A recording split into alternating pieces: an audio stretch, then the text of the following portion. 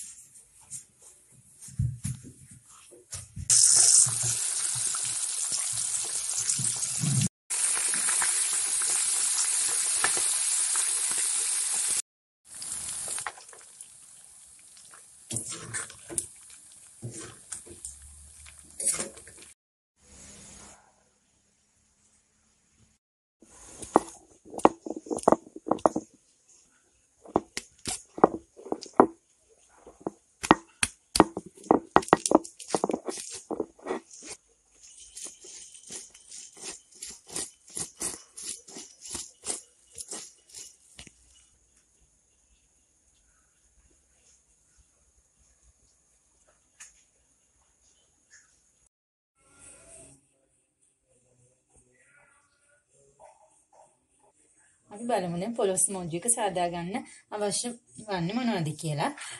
අංගලක පමණ ප්‍රමාණයට කපාගත් පොලොස් අපි බෙදගෙන තියෙනවා. බෙදගත් රතු ලුණු අමිස් අමිස් කරලම බාගෙට පලාගෙන අපි බෙදගෙන තියෙනවා. බෙදගත් හාල් මැස්සන්.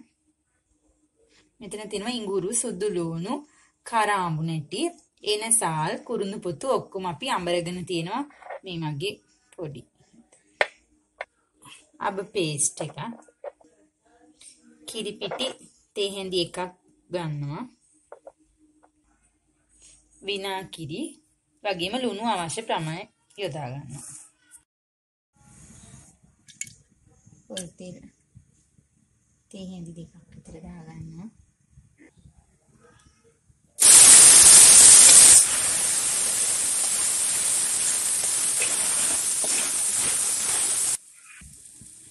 දාගන්නවා විනාඩි මේසෙන්දි දෙකක් වුණා.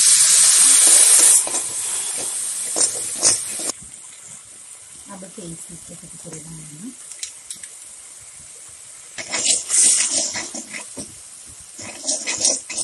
ඒ කලින් කියන්න අමතක වුණා අපි දැන් සීනි එන්නේ හතරක් සමන මේකට එකතු කරගන්නවා.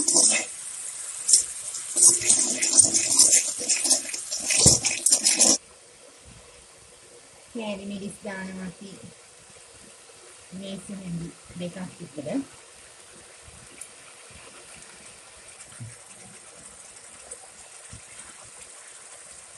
දුමු දානවා අපි අවස්ථාවේ. ඉතින් කිරිපිටි ටික එකතු කරගන්න අවස්ථාවේ. අපි එකතු කරන ආමු මිරිස් ටික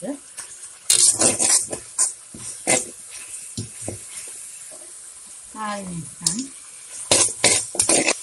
පොලොස් රතුරුන් ටික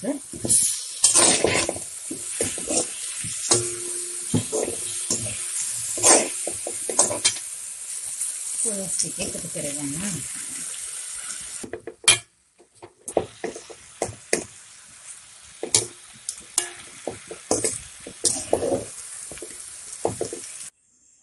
දැන් අපි පොලොස් මෝජුව හදාගෙන ඉවරයි. මෙන්න මේ විදිහට ලස්සනට තියෙනවා. ඒ වගේම හරිම රසයි.